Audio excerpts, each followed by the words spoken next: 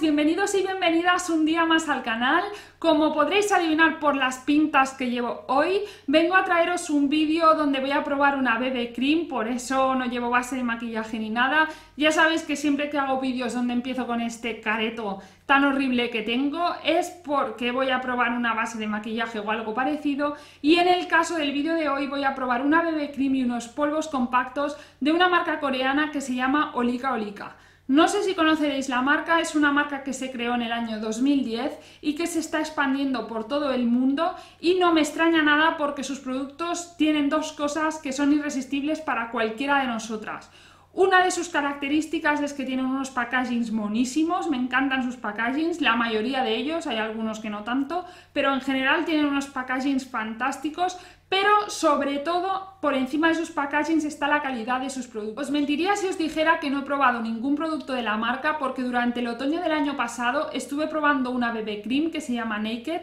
Evidentemente es otra BB Cream distinta a la que os voy a enseñar hoy, que ahora la veréis. Es una BB Cream que era para pieles mixtas grasas y que me encantó. Os dejaré abajo en la cajita de información el enlace para que la podáis comprar. Es una BB Cream que como os decía sirve para pieles mixtas a grasas, controla muy bien los brillos dura más o menos 6-7 horas intacta y me gustó mucho también que tiene una cobertura de media alta que realmente es comparable a cualquier base de maquillaje de ese tipo de cobertura y con todos los beneficios que además aporta una BB Cream. Me gustó mucho y debido a que me gustó este producto pues decidí probar más productos de la marca así que me lancé a Fapex a comprar eh, esta BB Cream, que en este caso no es como la otra porque viene en formato cojín, ahora os lo enseñaré, se llama Photo Ready Cushion BB con factor de protección solar 50 más y de entrada me ha llamado la atención porque tenga factor de protección solar 50 y además sea una BB Cream que en teoría es para fotografía.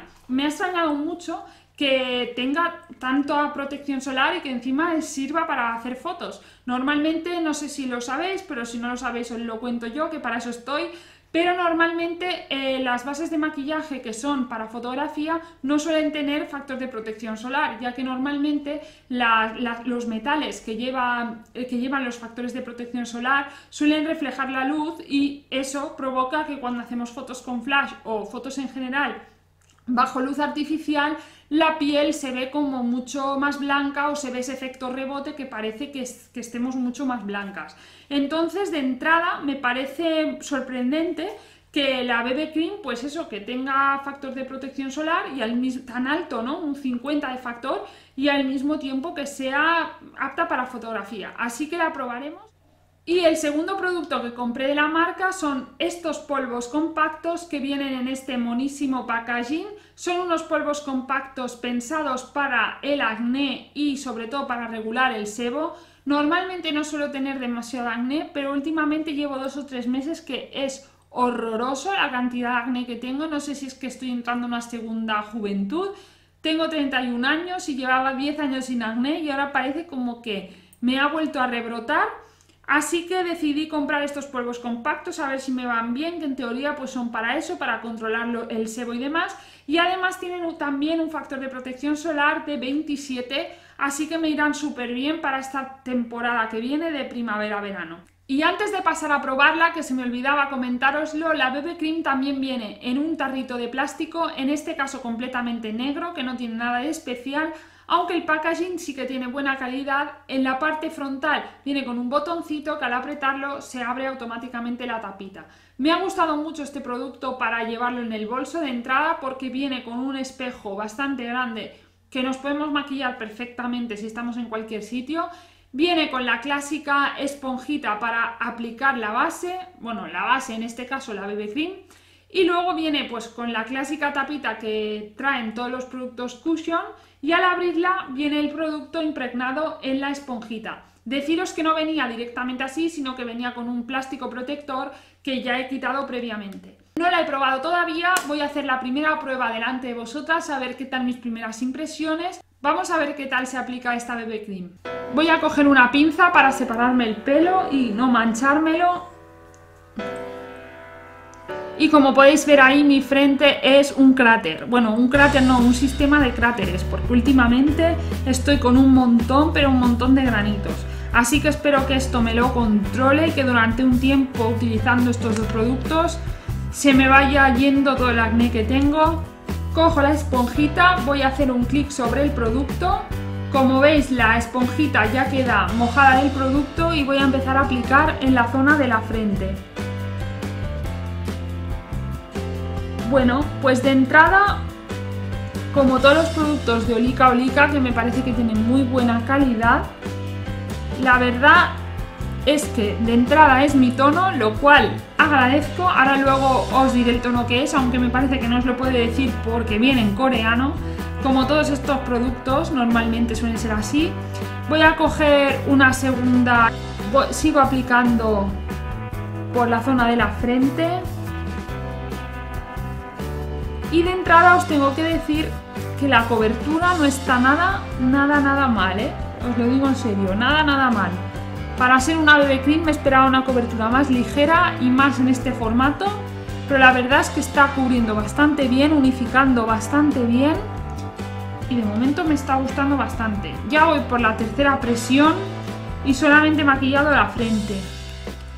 Esa es la única parte mala que le veo a este tipo de productos que vienen con poca cantidad porque realmente traen 10 mililitros, mililitros, he dicho mililitros o así más o menos traen unos 10 mililitros otra vez, traen unos 10 mililitros y normalmente las bases de maquillaje suelen traer 30, así que pues claro, la cantidad que traen es muy inferior por un precio igual o muy superior, entonces pues bueno, este producto la verdad es que no niego que pueda funcionar muy bien, pero la verdad es que es caro para lo que para la cantidad que trae. Y si tenemos que presionar muchas veces pues nos va a durar este, este tarrito nada y menos, pero bueno. Vamos a continuar, al menos sí que me está gustando mucho el acabado que deja, me parece que deja la piel súper bien, me encanta también el aplicador, os lo tengo que decir, me encanta la esponjita para aplicar el producto, la verdad es que me está gustando. No sé qué tiene esta marca, lo digo en serio, pero siempre que pruebo algo de ella me gusta. Bueno, He probado solo una cosa, esta es la segunda, pero, pero la verdad es que me gusta, me gusta, me gusta mucho así de primera impresión.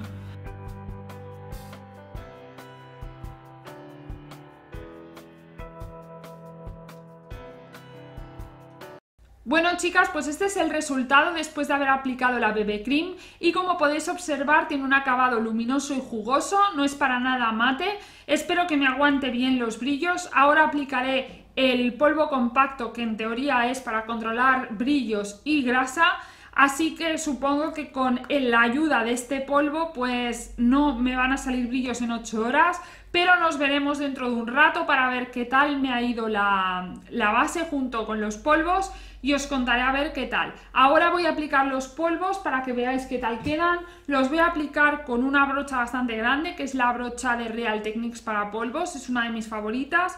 Y voy a coger producto directamente, voy a quitar el exceso y me voy a aplicar los polvos por todo el rostro.